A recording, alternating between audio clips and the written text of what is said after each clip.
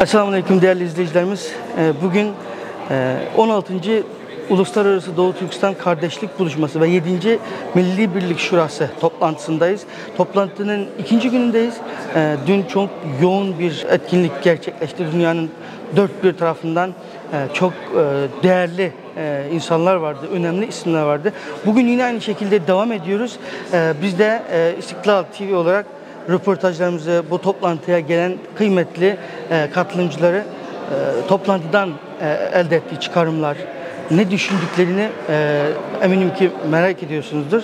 Biz de bunlarla ilgili e, bir ufak e, röportaj yapmak için çok e, kıymetli Hacettepe Üniversitesi Sosyal Sosyoloji Bölümü e, e, bu alanda işte diaspora sosyolojisi ile ilgili çalışma yapan e, çok kıymetli hocamız e, Sayın Ahmet Ertan Çöl Geçen beyefendiyle e, bugünkü bu düşüncelerini ne çıkarım elde et, Doğu Türkistan davası ile ilgili e, işte söylemek istediklerini sizlere aktarmak için e, başlattım. Hocam vaktinizi çıkardığınız için e, çok teşekkür ederiz. Ben teşekkür Sağ olun. ederim. Ee, onur duydum. Çok sağ olun hocam. Hocam e, programa dünden beri e, katıldığınız çok kıymetli sempozyumlar oldu orada. E, uluslararası küresel çapta Doğu Türkistan özellikle de insan hakları e, bakımından faaliyet yürüten önemli şahsiyetler e, dünyanın çeşitli ülkelerindeki Müslüman, coğrafyasındaki zulümlere e, Doğu Türkistan özelinde de bahsedildi. Şimdi bu buluşmadan bu buluşma ile ilgili düşüncelerinizi alabilir miyiz ilk olarak?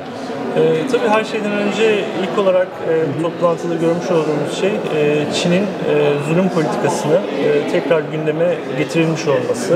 E, bunu tabii Türkiye'de e, yapılabilmesi e, gerçekten önemli. E, bu tarz toplantılar e, yakın tarihe kadar Türkiye'de yapılamıyordu. E, Çin'in e, zulüm politikalarını e, Türkiye'den herhangi bir ses gelmiyordu ve diaspora faaliyetlerinde bunu e, şu anda e, yapıldığını şahit olabiliyoruz.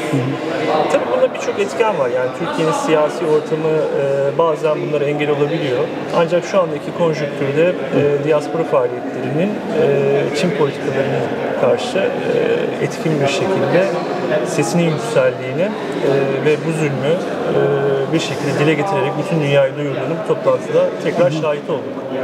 Doğu Türkistan meselesine e, insanları hani bu bu meselede bilinçlendirmek için gösterilen hizmetlerin yeterince olduğunu düşünüyor musunuz? E Şimdi şöyle, e, tabii ki e, burada sivil toplum kuruluşlarının görevi çok önemli.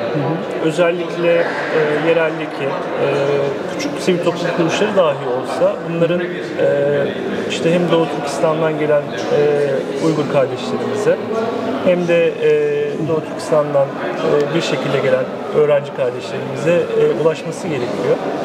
E, sivil toplum kuruluşları bu noktada e, bunları destek olup ve daha sonra tabii ki e, bunların topluma bir şekilde diaspora e, alanına kazandırılması gerekiyor. E, ya bahsetmiş olduğum gibi e, burada sadece tek bir etken e, devlet politikaları değil yani e, farklı etkenler de var. İşte diasporaların kendi aralarında çatışmaları, bunları görmezden gelmesi gibi sebepler olabiliyor. Ve e, bu yüzden özellikle mülteciler, mülteciler konusunda etkin çalışmalar yapıldığını görebiliyorum.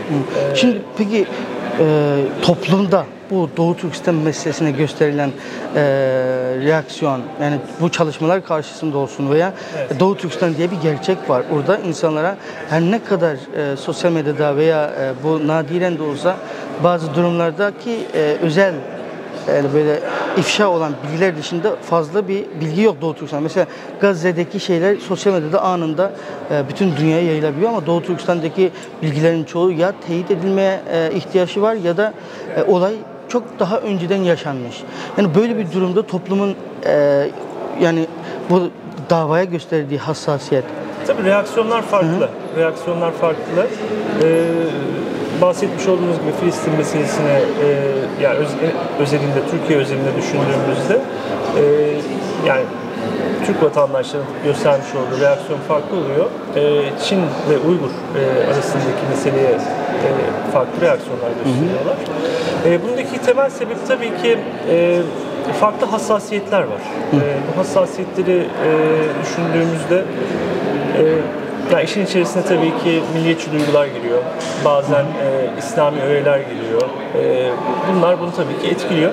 Ama sosyal medyada şunu tabii ki düşünmemiz gerekiyor. Orada bir e, karalama kampanyası da bazen olabiliyor.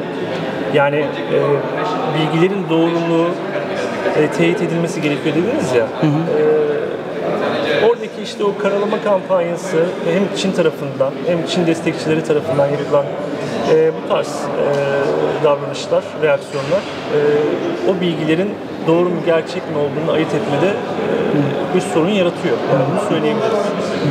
Doğu Türkistan meselesinin topluma geniş anlamda hani ulaştırılması, e, yani bu meselenin toplumda bir Doğu Türkistan bilinci oluşturması için neler yapılabilir? Bu konu hakkında bir tavsiyeniz, yapılması gereken işler. Evet, yani bugünkü toplantıda zaten e, bunun da altı çizildi. E, en önemli meselelerden birisi e, baktığımızda e, akademik çalışmaların gittikçe e, azaldığı, yani özellikle Türkiye'de yapılmadığını görüyoruz. E, akademik çalışmaların artması gerekiyor. Akademik bir e, destek gerekiyor zaten bunun için ve bu çalışmalara da e, zaten yön verecek olan da bu. Hem diaspora alanında hem diaspora dışındaki e, Çin ve Türkiye arasındaki siyasi ilişkiler noktasında e, akademik çalışmalar bu konuyu e, daha da aydınlatıcı olur ve e, doğru bilgiye erişmemizi e, çok daha net bir şekilde sağlar. Bu bakımdan söyleyebileceğim nokta bu. Çok teşekkür ederim. Rica ederim hocam. Çok